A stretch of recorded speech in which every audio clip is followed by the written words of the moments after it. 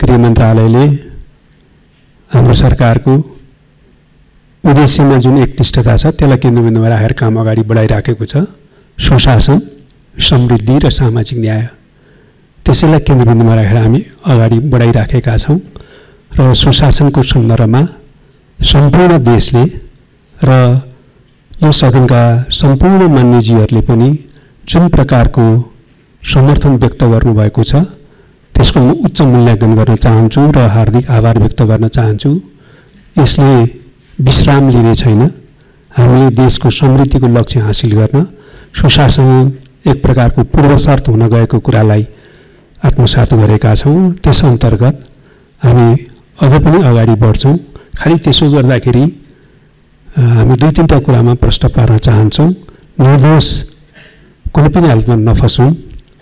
दोषी अपराधी कुनै पनि हालतमा नछुटौँ भन्ने मान्यता जो हामीले अख्तियार गरेका छौँ त्यही मान्यता अन्तर्गत काम अगाडि बढ्नेछ खालि के हो भने अर्को एउटा सन्दर्भमा ध्यान आकर्षण गराउन चाहन्छु।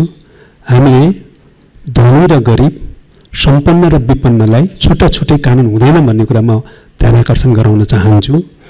र कतिपय अरू सन्दर्भमा चाहिँ हामी थुप्रै साधन स्रोतको सीमाको बिच गृह मन्त्रालयको कामलाई अगाडि बढाउन प्रयत्न गरिराखेका छौँ।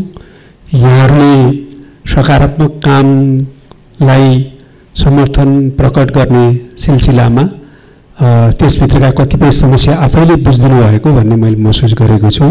वृत्ति विकासका नेपाल प्रहरीभित्र सशस्त्र प्रहरीभित्र केही समस्याहरू छन् भौतिक पूर्वाधारका समस्याहरू केही छन् र अरू पनि समग्र काम यो चाहे सीमा सुरक्षाको काम होस् अपराध नियन्त्रणको काम होस् होइन त्यसपछि चाहिँ शान्ति सुरक्षाको प्रभावकारी बनाउने काम होस् चाहिँ लागु औषध नियन्त्रणको काम होस् विपद व्यवस्थापनको काम होस् यी सबै कामहरू महिला दलितहरूमाथि भेदभावको अन्त्यको काम होस् सबैमा यी कामलाई अझ व्यवस्थित र प्रभावकारी बनाउन साधन स्रोतको सीमाका बावजुद हामी अधिकतम चाहिँ आफ्नो शक्तिलाई परिचालन गरेर परिणाम दिनु प्रतिबद्ध छौँ राष्ट्रिय सुरक्षा नीतिका कतिपय पक्षहरू संवेदनशील भावनाले समग्र सुरक्षा नीतिको पक्षहरूलाई सार्वजनिक गर्दैन गरिँदैन। त्यसलाई कार्यान्वयनको प्रक्रिया अगाडि बढिन्छ।